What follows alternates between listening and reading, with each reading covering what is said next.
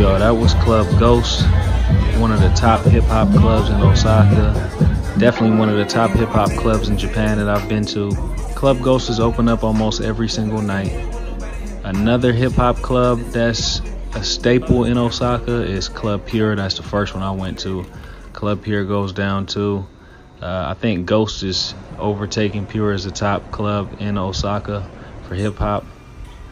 I'll leave a list of clubs in the bottom of the description box. Also, even if you don't listen to hip hop, I'll leave a list of a few other clubs I know about EDM clubs, uh, top 40 type clubs, those type of places. Most of the time after the club, people in Japan tend to like to go out and grab some ramen or some type of food after they finish eating either some yakitori, that's grilled chicken, or uh, go get some ramen. Uh, we went down to Ramen Street, which is right next to the Dotonbori Bridge. There's a gang of ramen places, uh, so you got plenty to choose from. Most of them are all open super late, so they're definitely gonna be open.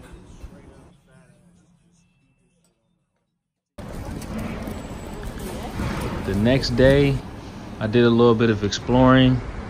Uh, after I got in a little workout, I went and hit up Minami Semba. Uh, that's a area kind of close to Shinsaibashi. It's a lot of cool little boutique clothing stores, uh, some bike shops, some cool little restaurants. Just a nice little area to walk around. It's not as busy as Shinsaibashi, uh, and it's also a little bit more upscale with like a little bit of an older crowd that's around there. Plus, it's close to a lot of like businesses. Stumbled upon this dope little record shop. I can't lie, this isn't the first time I've been there. I actually been there once before. Know, I went to one of this guy's events. The event was super dope. It was a little jazz event, live music, food, good food, good music. Met a bunch of cool people. Actually ran into uh, one of the musicians that I had met when I was in Tokyo. So it was a pretty cool event, and I would definitely recommend if you ever come to Osaka, go check out Especial Records, uh, the record shop, and double check to see if there's an event going on during the time that you stay. I'll leave that information in the description below as well.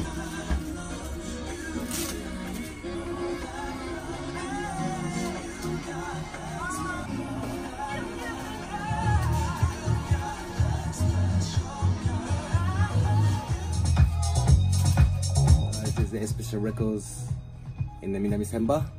I, and uh, I'm doing DJ and produce called Kyoto Jazz Massive, and I'm running this shop and my label as well. Oh, okay. What's the label called? It's same, it's Special Records. Oh, okay. label.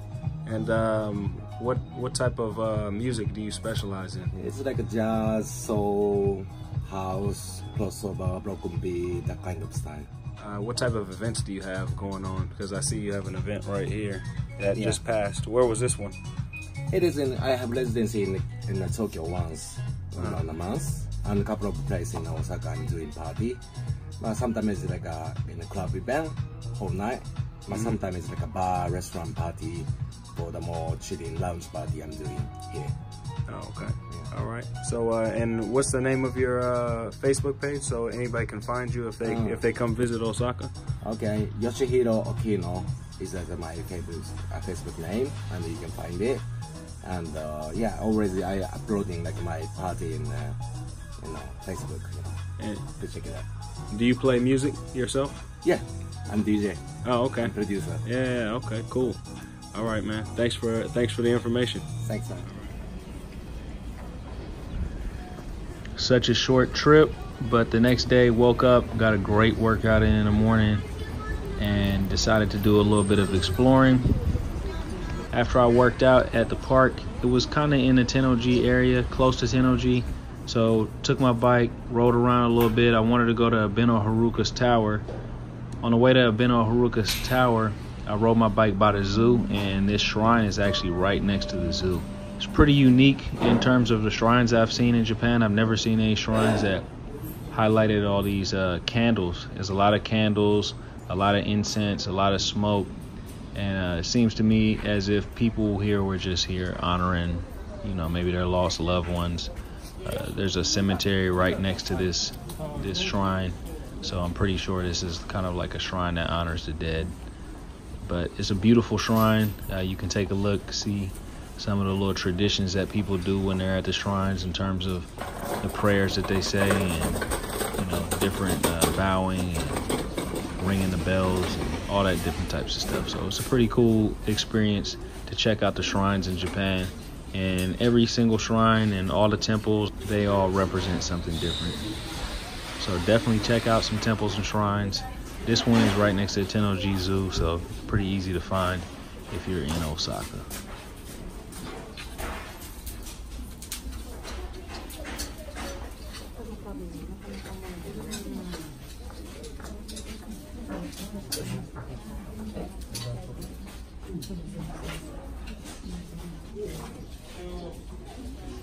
韓国には、あ、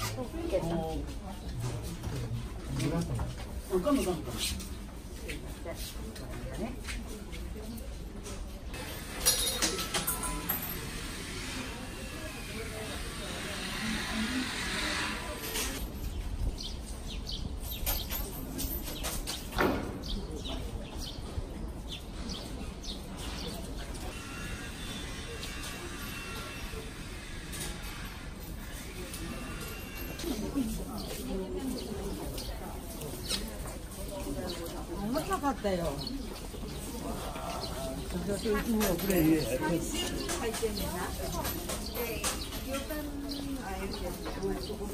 能。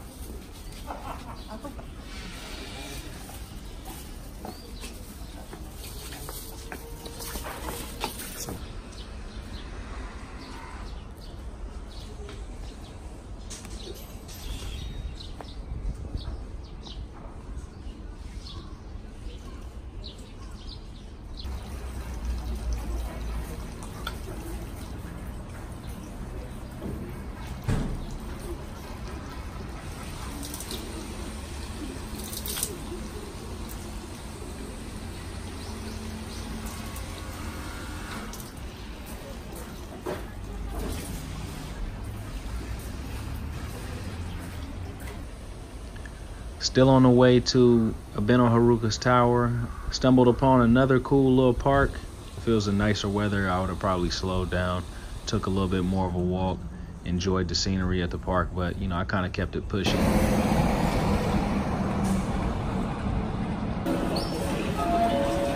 If you guys are going to Abeno Harukas Tower, there's a couple different ways you can get there. Of course, if you rent a bike, you can take your bike there. Uh, they have a free bike parking lot. You can park your bike you can take the train to Abeno Harukas Tower. You can either get off at Tennoji Station, which is very close, or you can take the train to Abeno Haruka Station.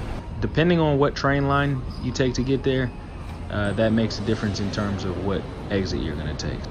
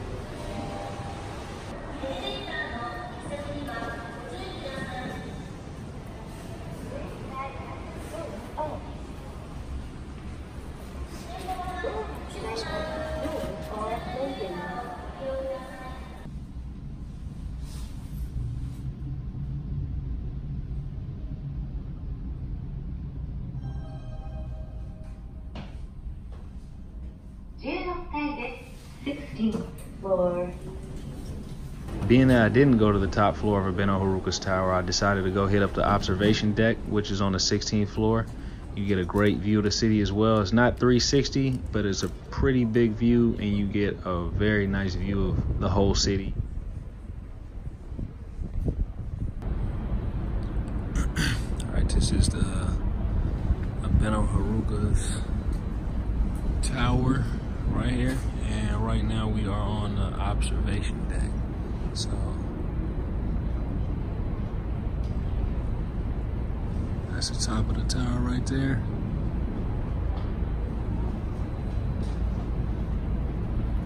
Once again, it's Abeno Harukas Tower.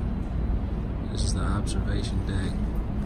If you don't want to pay the 15 to get to the top, you can always just come chill out at the observation deck, which is dope too.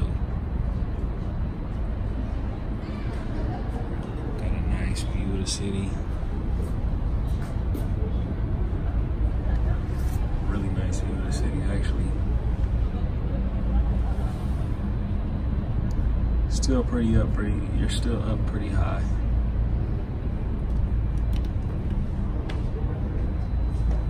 There's not too many skyscrapers in Osaka. So this is definitely the tallest building. I think it's about a thousand feet. Not this one, but I'm in. It's like a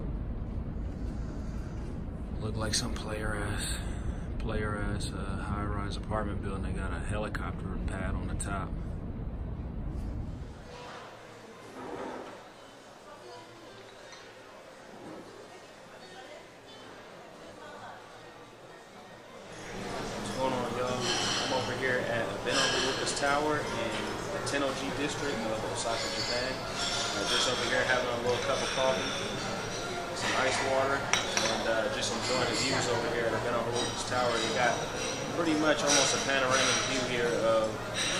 Osaka City. If you go up to I believe, the 40th floor of this building, which is all the way to the top, uh, it costs about 15 bucks, but you get a panoramic view of the whole entire city. Uh, if you ever come to Osaka, I highly recommend that you do that.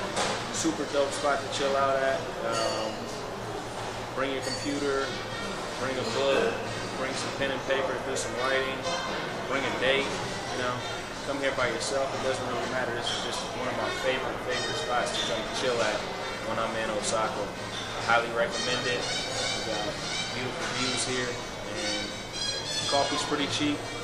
300 yen for a coffee, about two two dollars and. They got other little drinks here, cappuccinos, uh, lattes, all the fancy stuff if you like that too. Tea if you don't drink coffee. Nice pastry selection. So definitely come out to this spot. It's called uh, Chow Espresso, I believe. Check it out.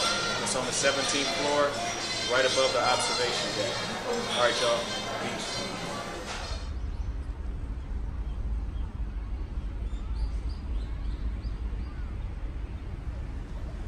After hitting up Abeno Harukas tower, rode down to Osaka Castle, another super dope spot that you got to check out when you go to Osaka.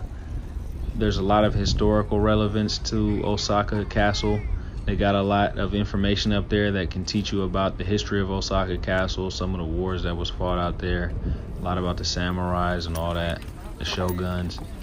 Also shows you a lot of history over the different rulership in the area aesthetically, Osaka Castle is definitely one of the dopest things you're gonna see in the Kansai area. So I highly recommend it. Super easy to get to. Uh, you can either take a bicycle over there, you can even walk over there from some places. If you take a train over there, you can get off at Osaka Business Park. You can get off at, I believe, Tanimachi Yonchome. That's uh, on the purple line. The light green line, I believe, is the one where you take Osaka Business Park exit.